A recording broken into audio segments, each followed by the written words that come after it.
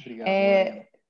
dando seguimento né, aos trabalhos do painel, né, a segunda palestrante da noite é a professora doutora Daniela Recchione, né, com o tema As Tutelas de Urgência na Área da Saúde e o CPC né, 2015. Bom, a professora Daniela é advogada e mestre em Direito Público pela PUC Minas, doutoranda pela Faculdade de Medicina da UFMG em Saúde Pública, é consultora jurídica com experiência em Direito Público e Contratual, especializada na área do Direito à Saúde e Direito Médico, mediadora pela Camarbe e advogada na mediação pelo Instituto de Certificação e Formação de Mediadores lusófonos. É também professora da área de processo civil e direito público em cursos da graduação e pós-graduação. Coordenadora adjunta da pós-graduação em Direito Processual Civil da Faculdade CEDIM, membro da ACADEPRO, membro da Comissão de Direito Médico da UAB e também de Direito Processual Civil da UAB de Minas e professora substituta da Universidade Federal de Lavras. Né, professora Daniela, né, tem a palavra né, durante esses 20 minutos a sua exposição. Bom, boa noite, Lorena. Boa noite, Bernardo e todos os colegas aqui presentes nesse painel, todos aqueles que estão nos assistindo. Realmente é uma honra eh, ter recebido esse convite para participar desse evento que realmente está sendo um sucesso. Já recebi inúmeras mensagens de pessoas próximas que estão aproveitando muito o evento. Durante, ao longo do, de ontem e do dia e de hoje, eu também pude acompanhar algumas palestras e realmente tem sido um evento muito enriquecedor,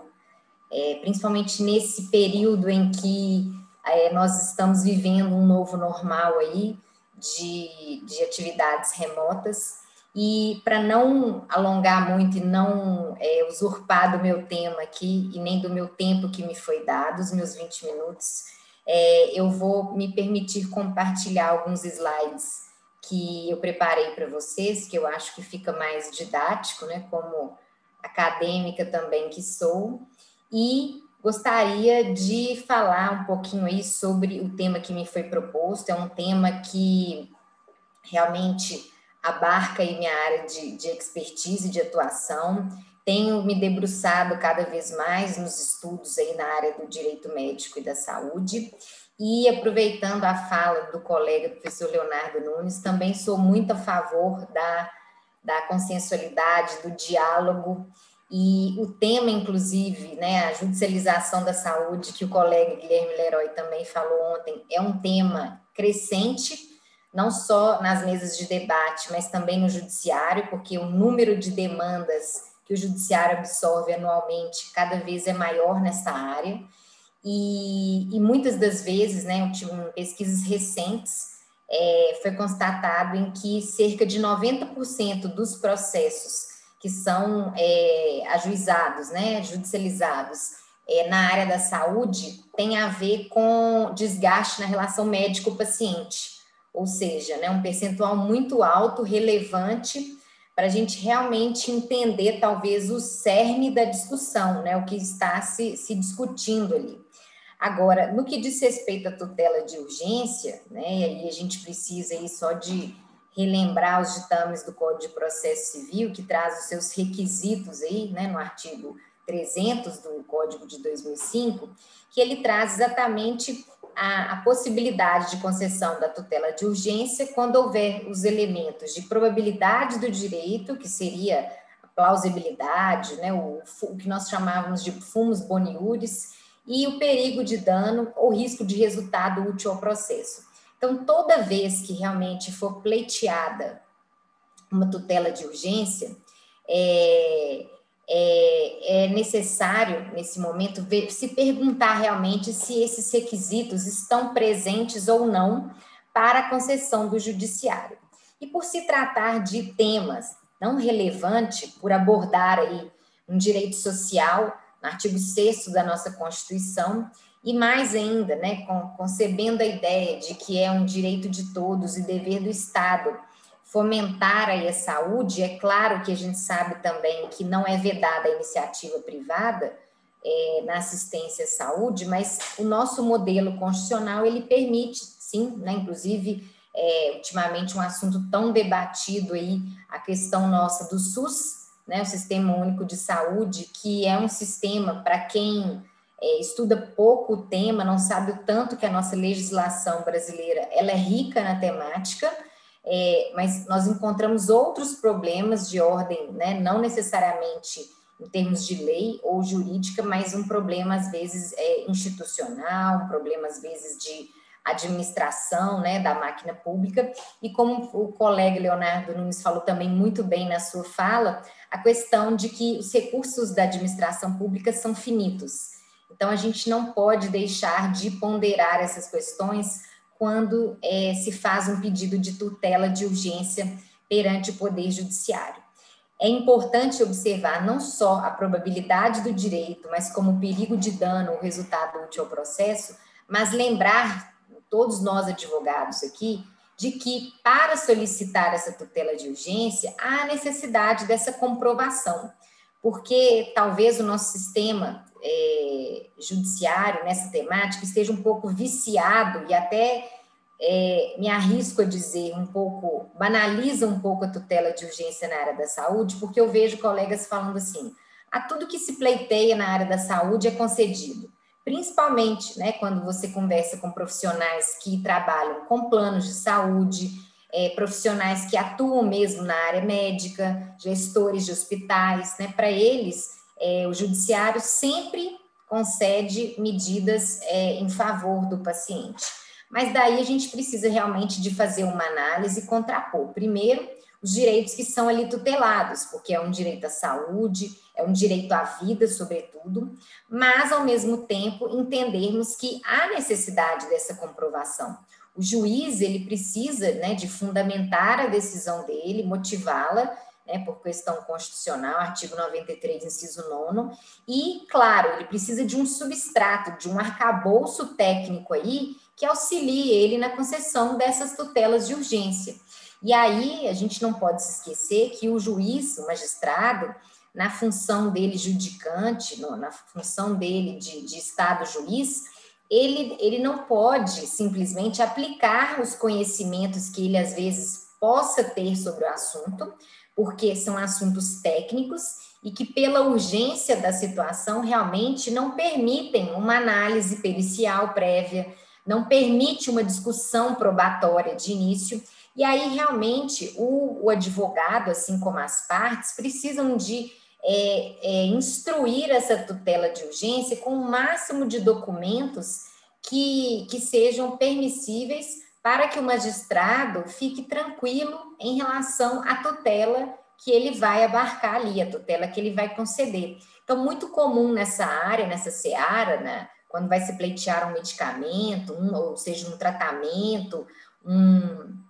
enfim, né, às vezes que o plano negou, que deveria ser custeado pelo Estado ou algum outro ente da, da federação, é importante ter um laudo médico que corrobore a necessidade daquele tratamento, né, é, a necessidade daquele medicamento, por exemplo, porque quem consegue realmente falar o que o paciente necessita, qual o tratamento a ser seguido, o que ele necessita, o tempo de tratamento estimado, ou, ou se é um método cirúrgico, ou como conduzir aquilo, é um profissional da área da saúde. E isso realmente não está é, no âmbito do judiciário tal discussão. Essa discussão realmente ela não é não é tolhida naquele momento ali, mas ela é, é com os documentos médicos instruídos ou de outro profissional, claro, da área da saúde, ou mesmo um atestado né, do médico alegando a situação emergencial que o paciente se encontra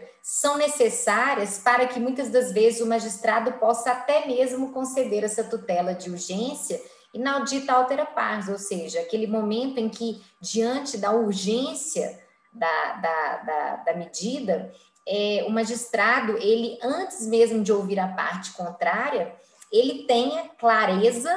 e a motivação e a documentação necessária para conceder aquela tutela de urgência. É, é importante também a gente não se esquecer que do CPC de 73 né, para a nossa legislação atual processual, é, houve aí né, essa adequação da tutela quando criada a tutela antecipada, no sentido de realmente buscar uma tutela justa e tempestiva, tá? Então a gente não pode se esquecer que essa questão aí de, de antecipar né, a, a, o mérito da questão por meio da tutela antecipada, já no CPC de 73, é, já se mostrava é, uma antecipação significativa aí na fase de conhecimento, naquela cognição sumária ali, em que o método utilizado não permitia, naquele momento do juiz, exaurir a questão discutida ali para, ao final, ele realmente prestar tutela jurisdicional. Portanto, quando criada a ideia da tutela antecipada, ainda que provisória, né, como uma tutela provisória, era uma técnica que com certeza ela permitia a antecipação do mérito da questão ali, né? Não só aquela tutela satisfativa do bem jurídico da vida, mas realmente a antecipação do mérito. E aí eu chamo a atenção, né, de uma técnica realmente dentro de um Estado democrático de direito, que tutela esse direito fundamental de uma tutela justa, adequada, efetiva aos direitos e principalmente essa correta e isonômica distribuição do ônus do tempo do processo, que nada mais é do que a razoável duração do processo. É, muitas das vezes, na área da saúde, é, se o juiz precisar de documentos, outros elementos probatórios para manifestar sobre aquela tutela, o risco de morte do paciente, ele é iminente, e aí você não vai ter nem a discussão a posteriori ainda para tomar, uma vez que às vezes veio o óbito do paciente ou veio o agravamento do, do quadro de saúde. Mas mesmo assim, o juiz não tem uma mera presunção de que aquilo é grave, porque o advogado escreveu né, na, na, na fundamentação da tutela de urgência dele. É importante deixar claro que realmente esses documentos são necessários para formar o convencimento do magistrado. E aqui apenas para a gente diferenciar realmente a natureza cautelar, né, que apesar de não termos mais o, os livros né, dos processos cautelares no CPC de 2015, nós temos é, medidas satisfativas de natureza cautelar que ainda existem no, no, no CPC, atual em vigor, mas que se diferem ainda alguns das tutelas de urgência, justamente porque não se pretende apenas uma mera imediata satisfação do direito. Né? A preocupação da tutela cautelar, ela não é tanto, não fica a cargo da demora da prestação jurisdicional, mas sim daquela satisfação imediata. Então, o que realmente é, é relevante no caso da tutela de urgência é o perigo de dano ou resultado útil ao processo. Então, muitas das vezes, casos que às vezes são levados do judiciário, e aqui eu até pus essa figurinha do risco de morte, caso, um caso interessante, é, né? Claro que a maioria corre em segredo de justiça, mas eu tive a oportunidade de participar, em que uma adolescente de 16 anos é, precisava de uma cirurgia bariátrica. É, nenhum método dos tratamentos em que elas é, usufruía pelo próprio plano estavam sendo eficazes, é, ela já tinha uma obesidade mórbida, e, e aí aconteceu do plano negar a cirurgia bariátrica, e diante dessa negativa, a família pediu, né, via judicial, a gente pediu para a família, né, a, a, a tutela de urgência, e em primeira instância, o magistrado disse que não estava na documentação, e nós pegamos documentação do endócrino, do, do, cardiologista, do ginecologista, do psicólogo, todos os médicos do plano, do nutrólogo, de que o tratamento não surtia efeito, recomendando a bariátrica, e o plano, numa questão até muito familiar aos planos de saúde, é, atinentes lá à ANS, recusou, alegando realmente que ela não era maior de idade e que é aí há um entendimento realmente dos planos de saúde de que é, a bariátrica é, deveria ser feita após a maioridade. E aí, nessa discussão, mesmo ainda em, em, em sede inaudita altera paz, pela recusa administrativa do plano, o juiz se ateve a isso e negou, dizendo que não havia risco de morte para paciente, de que é, ele não vislumbrou os requisitos da tutela de urgência porque a bariátrica era uma cirurgia letiva. Bom, diante daquela decisão, imediatamente, né, nós, preparamos é, um agravo de instrumento e fiz questão, né, até de despachar pessoalmente com os embargadores, não só é, é, é, trazendo a, a, questão premente necessária de que é, não só o risco de morte deve ser encarado como, como uma urgência, mas qual seria o prejuízo de uma adolescente de 16 anos que, pela altura, já contava né, com mais de 100 quilos e algo totalmente desproporcional, né, a idade dela, o tamanho dela, o convívio social dela, que aquilo ali também vinha trazendo um dano psicológico muito grave a ela, e que, e quanto mais dois anos ela teria que esperar para fazer uma cirurgia considerada eletiva, né, ou seja, quais os, os, os danos talvez irremediáveis aí, e aí eu chego nesse próximo tópico,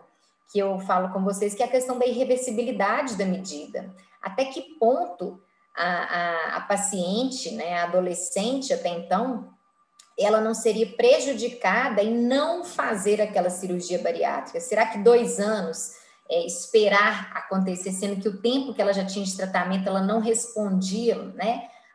à medicação utilizada, a, a, a, e ainda gerando é, danos em outras áreas, cardiológica, é, ginecológica, ela estava sendo, e até mesmo psicológica e psiquiátrica. Então, também diz o parágrafo terceiro do artigo 300 do Código de Processo Civil atual, de que a tutela de urgência também, ela não será concedida quando houver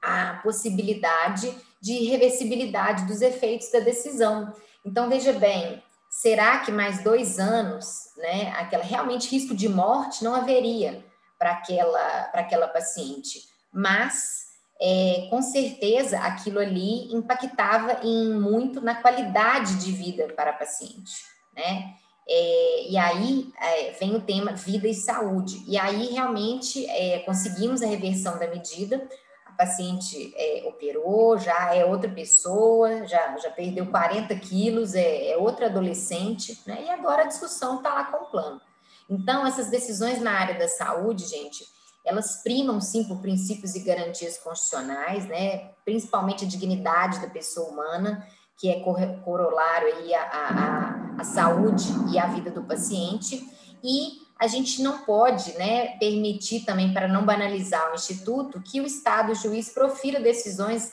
apenas em evidências ou suposições, ou ainda aquela presunção relativa de hipossuficiência tratada na relação médico-paciente ou é, é, instituições de saúde-paciente que tratam da hipossuficiência do consumidor, porque é uma relação tratada pelo Código de Defesa do Consumidor. E como eu havia falado, as demandas relativas à área de saúde, elas têm crescido aí, vem do site do CNJ,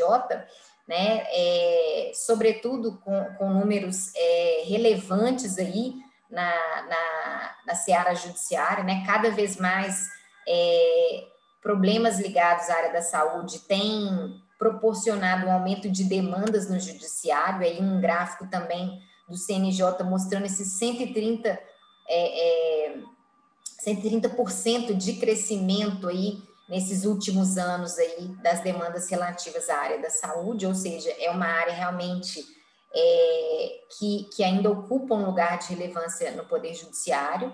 E é, eu só trouxe para vocês a informação de que o Tribunal de Justiça de Minas Gerais, para quem não sabe, eu acho que isso é importante né, a gente sempre falar, mas ele fez um convênio né, e ele possui a, a ajuda de profissionais médicos e outros profissionais da área da saúde que ajudam na emissão de notas técnicas para corroborar, e muitas das vezes, às vezes esse documento que o magistrado às vezes não tem, ou às vezes a medida se mostra tão necessária, ele possa pedir o auxílio é, por meio dessas notas técnicas para analisar esse pedido de tutela de urgência, o que também pode imprimir uma efetividade e uma celeridade muito grande também. Então, existe essa possibilidade, inclusive, de nós advogados, às vezes até de mãos atadas, porque às vezes não encontram um profissional para fazer esse pedido, fazer essa solicitação aí para, é, para que sejam emitidas essas notas técnicas, tá? Então, para eu ser bem britânica e, e não extrapolar o meu horário, eu gostaria apenas de deixar a reflexão para todos nós aqui, não só da importância dessas tutelas é, de urgência concedidas na área da saúde, mas, sobretudo, como nós advogados, o nosso papel, sobretudo, é instruí-las devidamente para que o Poder Judiciário dê o que realmente o, o paciente, a parte, o nosso cliente precisa. E realmente não caia no, naquela banalização do instituto em que amanhã o poder público, muitas das vezes também com recursos finitos, acaba sempre alegando em favor dele a hipossuficiência de recursos. E para que a gente não caia também naquelas tutelas de urgência, que muitas das vezes é, o paciente consegue medicamentos de alto custo, que é muito comum, e o ente federado não consegue cumprir com aquela medida e muito menos vai arcar com eventuais astrentes que são fixadas, porque ele não dispõe realmente desses recursos e é o famoso ganhou, mas não levou, né? O paciente ele vai ter a, a medida favorável a ele, mas não vai fazer é, jus a, ao direito que lhe foi concedido. Então, mais uma vez, eu queria agradecer essa oportunidade de tratar aí sobre uma temática muito relevante, mas que é meu objeto de estudo, de trabalho, que eu gosto tanto e espero ter acrescentado algo aí para vocês de útil nesse evento brilhante aí. Mais uma vez, parabéns ao AB e agradecer principalmente o professor Dier e o professor Bernardo aí pela presença no painel. Obrigada.